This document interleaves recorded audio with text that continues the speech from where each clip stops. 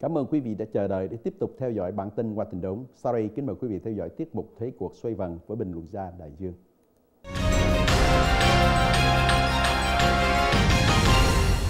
Xin cảm ơn quý vị đã đón xem tiết mục Thế cuộc xoay vần với bình luận gia Đại Dương qua chủ đề Thượng tướng Nhật Abe viếng thăm đền Yasukuni. Xin kính chào bình luận gia Đại Dương. Chào cô Vân Lý, kính chào quý vị. Vâng thưa ông, thì vào sáng ngày 26 tháng 12, Thủ tướng Nhật Bản Shinzo Abe đã chính thức viếng thăm đền Yasukuni do mình Trị Thiên Hoàng xây dựng vào năm 1896 để thờ tự sĩ đã tạo ra sự phản ứng gây gắt từ phía Trung Cộng và Đại Hàn. Tại sao vậy thưa ông? À, thưa cô quản Lý và kính thưa quý vị, chúng ta đều thấy rằng cái đền thờ đó để thờ hai hai triệu rưỡi người à, tử sĩ của Nhật Bản trong suốt thời gian lịch sử của họ, đặc biệt là trong Thế chiến thứ hai.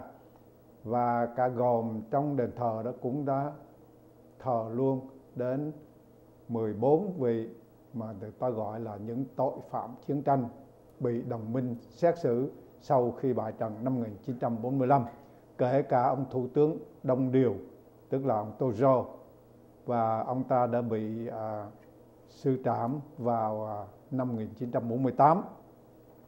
Như vậy thì mỗi lần mà các nhà lãnh đạo của Nhật Bản đến thăm các ờ, tử sĩ đó thì đều bị các nước láng giềng tố cáo và cho rằng họ Nhật Bản đã muốn khơi dậy cái thời kỳ gọi là quân phiệt Nhật.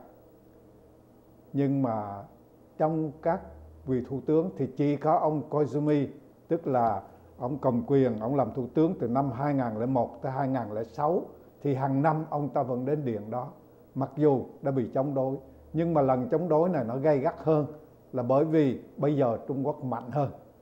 Và Đại Hàn cũng mạnh hơn, do đó họ có cái thế để mà à, áp lực với à, phía à, Nhật Bản.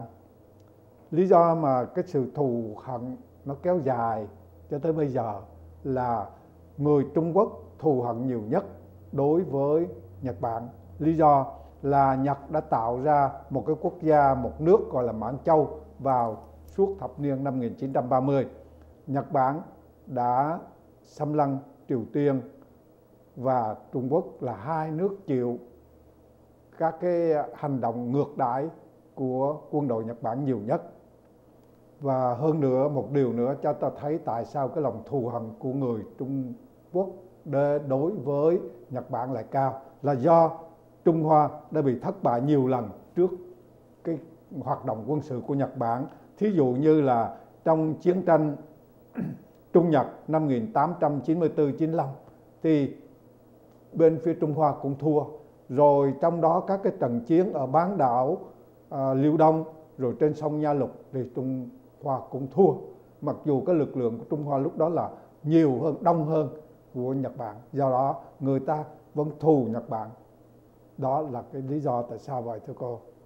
Vâng thưa ông thì cũng vào ngày 26 tháng 12 thì Trung Cộng kỷ niệm ngày sinh 120 của Mao Trạch Đông thì ông so sánh cái quân Việt Nhật với Trung Cộng như thế nào thưa ông? À, thưa cô, chúng ta đều thấy rằng cái quan điểm của Bắc Kinh á, thì người ta cho rằng Mao Trạch Đông có 70% gọi là công và 30% tội. Và từ đó họ vẫn giữ quan điểm nhưng mà cái khác biệt là là không có một sự tranh luận nào công khai liên quan đến cái thời gian cầm quyền của ông Mao Trạch Đông ở tại uh, lục địa. Cho nên chuyện đó đã không có có cái số liệu đó. Tôi cho rằng không chính xác. Bây giờ lãnh đạo đúng ra đó thì Mao Trạch Đông đã khích động cái chủ nghĩa yêu nước. Họ các cái nhà lãnh đạo bây giờ muốn muốn dựa theo cái tinh thần yêu nước của Mao Trạch Đông khích động dân chúng để theo mình. Ờ, để, để, thực hiện những cái chủ nghĩa bành trướng mà chúng ta đã thấy như hiện nay.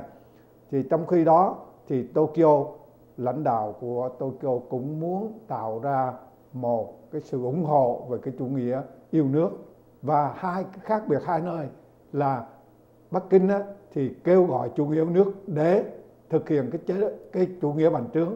Ngược lại thì Tokyo hiện nay họ chỉ kích động cái tinh thần yêu nước để mà bảo vệ cái quốc gia hiện tại đang bị cái đe dọa của Trung Trung Cộng mà thôi. Bây giờ nếu chúng ta so sánh thì cái tội ác giữa Mao Trạch Đông và giữa quân phiệt Nhật nó khác nhau như thế nào. Mao Trạch Đông đã giết cả khoảng đến hơn 3 triệu người, 3 triệu người Trung Quốc. Như vậy cái con người vẫn là con người. Như vậy thì cái đó là cái tội ác chống nhân loại. Trong khi quân Việt Nhật thì cái số liệu tàn sát ít hơn nhưng mà vẫn bị thổi phồng lên. Chứ sự thật nó không có không có một con số nào to lớn cả. Nhưng à, chúng ta còn thấy nữa là Nhật Bản thì cai trị trực tiếp tội ác gián trực tiếp nhưng mà ngược lại Trung Quốc có những cái tội ác gián tiếp. Thí dụ như là cái chủ nghĩa Maoist đã tỏa rộng lên toàn cầu có thể là một số nước đặc biệt tại nước các nước châu Á chỗ nào đi theo cái chủ nghĩa của Mao ít thì cũng xảy ra những cái cuộc đẫm máu những cái cuộc giết chóc thanh trừng đẫm máu. Như vậy tức là chủ nghĩa Mao Trạch Đông còn có tác hại trực tiếp đối với dân à, đối với dân Trung Hoa và gián tiếp đối với các nước trong vùng. Như thế thì có thể nói rằng cái hai đó nó có điều giống nhau là đều vi phạm cái tội ác gọi là chống nhân loại cả. Còn phía Nhật Bản thì ngày nay họ đã từ bỏ rồi từ bỏ cái chủ trương đó nhưng mà ngược lại Trung Quốc thì vẫn còn tiếp tục cái chủ trương và càng ngày càng phát triển do đó cái mối lo của nhân loại nhiều hơn đối với Trung Cộng thưa cô. Vâng, xin cảm ơn ông. Kính thưa quý vị, vừa rồi là tiết mục Thế cuộc xoay vần với bình luận gia Đại Dương qua chủ đề Thủ tướng Nhật Bản viếng thăm đền Yasukuni. Cảm ơn quý vị đã theo dõi. Chúng tôi trân trọng kính chào.